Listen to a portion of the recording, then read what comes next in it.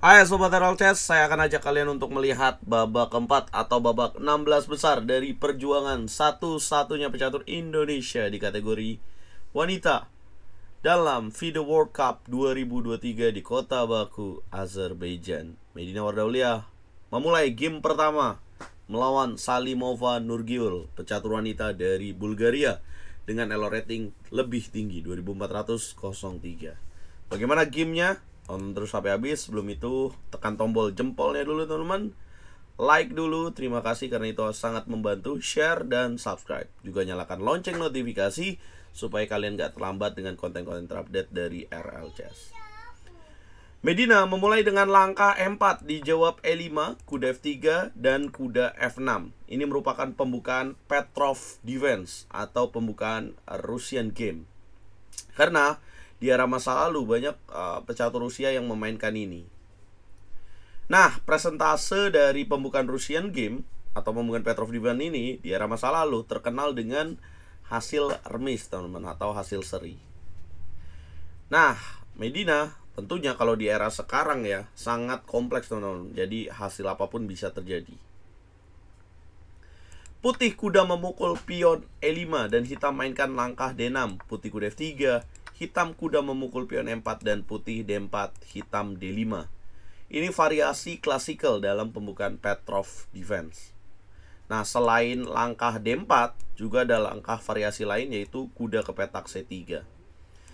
Yang apabila dimakan, variasinya seperti ini, teman-teman. Kemudian menteri D2, putih lakukan rokade, hitam bisa memilih variasi rokade pendek atau rokade panjang dengan kuda C6 dan Gajah naik ke petak G4. Nah, kita back to the game, kuda 4 kemudian putih D4. Memang variasi klasikal ini yang lebih banyak dimainkan teman-teman oleh para pecatur dunia. D5, kemudian gajah D3 dimainkan. Hitam gajah D6, putih lakukan rokade pendek dan hitam lakukan rokade pendek. Putih C4 dengan tujuan mengganggu kuda di petak M4. Jadi kalau makan akan jatuh kudanya Kemudian hitam C6 dan putih kuda C3 dengan tujuan menendang kuda di petak M4 ini biar nggak lama-lama. Pertukaran kuda dilakukan, pion pukul kuda dan hitam pion pukul C4. Gajah pukul pion C4, hitam gajah F5, putih gajah G5. Ini yang menarik ya. Jadi nggak bisa tutup, menterinya harus kabur. Menteri ke petak A5. Kemudian putih mainkan langkah kuda H4 dengan tujuan mengancam gajah jadi kalau hitam makan pion C3, putih kuda pukul gajah, menteri pukul gajah dan kuda dapatkan gajah di petak D6. Jadi putih akan unggul satu perwira. Kuda H4 dimainkan, hitam mainkan langkah gajah E6. Kemudian pertukaran gajah dilakukan dan hitam lebih pilih menteri pukul gajah. Kenapa? Karena pilih gajah yang ini, ini akan menguntungkan bagi pemain putih. Kenapa? Ya ini lemah nih, pion E6 dan B7-nya. Jadi akan ada langkah lanjutan menteri G4 mengancam E6 yang apabila menteri ke petak D5, kira-kira apa lanjutan dari putih? Putih maka akan mainkan langkah benteng FS1. Ya kayak gini sulit teman-teman di di level atas uh, top dunia seperti ini. Yap, dan selain itu juga pilihan yang mereka lakukan sampai sejauh uh, ini ya 15 langkah ini merupakan teori teman-teman. Jadi gak heran ya kenapa mereka berada di 16 besar karena uh, perpustakaan game atau pembukaan di otak mereka tuh benar-benar sangat luar biasa.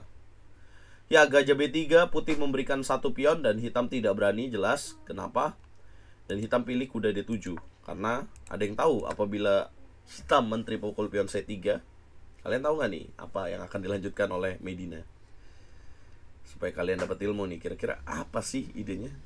Nah, maka putih akan mainkan langkah kuda G5. Tujuannya ancam pion F7, ancam pion H7, dan gajah B3 sudah memberikan ancaman pada pion F7. Kalau diusir kuda kuda di petak G5 ini, maka akan ada langkah kombinasi kuda pukul pion F7. Boom! Kalau benteng pukul kuda, maka akan ada lanjutan menteri H5.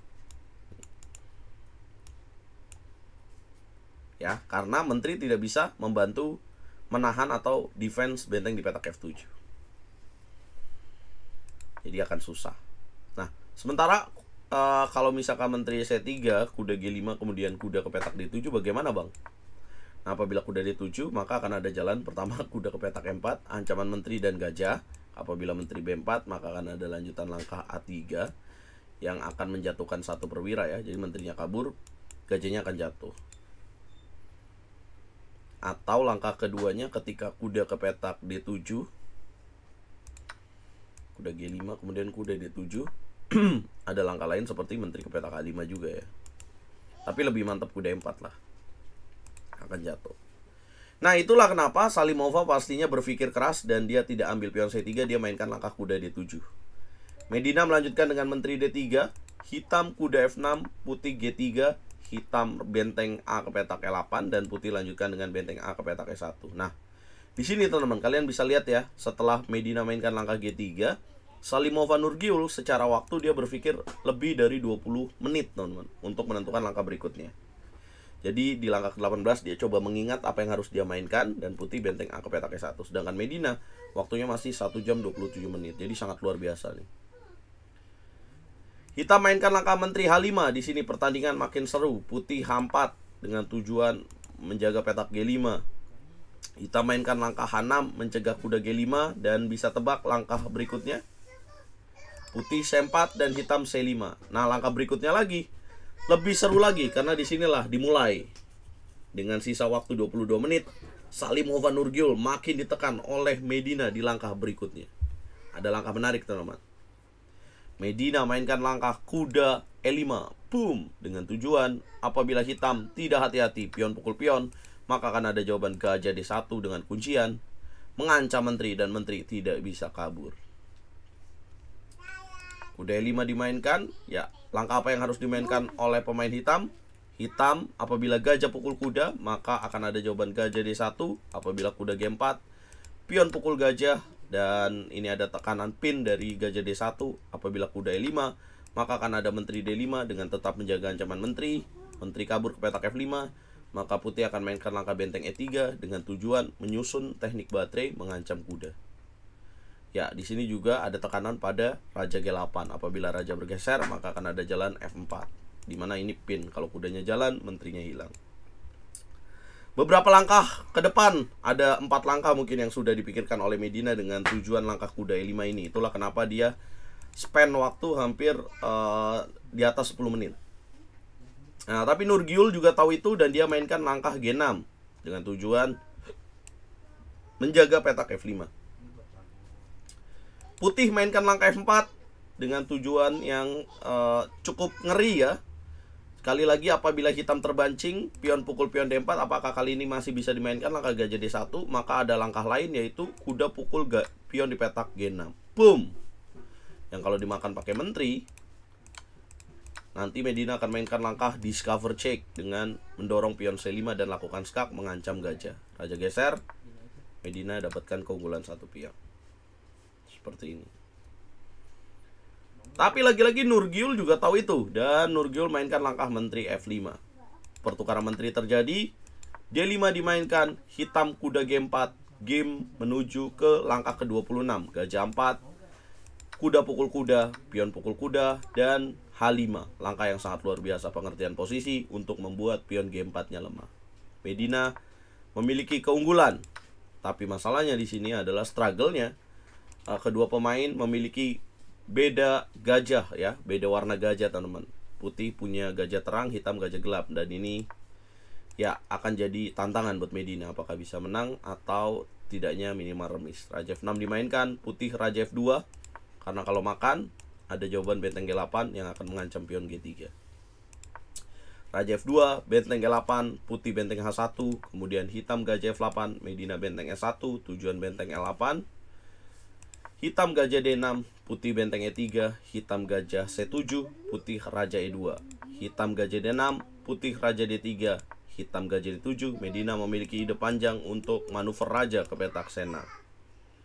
Raja C2, gajah D6, raja B3, gajah C7, raja A4, kemudian hitam mencegah dengan A6, putih balik lagi, hitam B5. Langkah-langkah akurat dimainkan oleh Salimov Nurgil untuk mendefense ini karena kalau nggak tepat dia akan kalah nih.